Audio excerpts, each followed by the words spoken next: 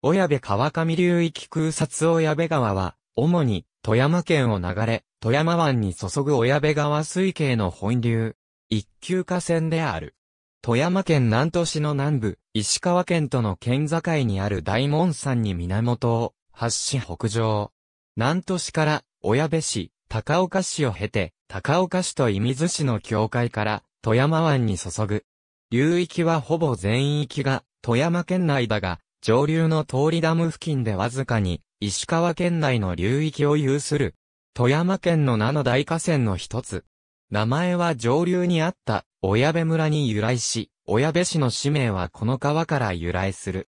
古代には小川が、都波平野の中心を流れて、現在の親部市付近で親部川と合流しており、そこから、下流は、射水川と呼ばれ、ほぼ現在の親部川の流路を流れており、万葉集に収められる、大友やかもちの歌にも登場していた。さらに小川は別の流路を流れるようになり、江戸時代には、現在の高岡市街で合流するようになった。江戸時代に、小川は、中田川に付け替えられ、川口付近で合流するようになった。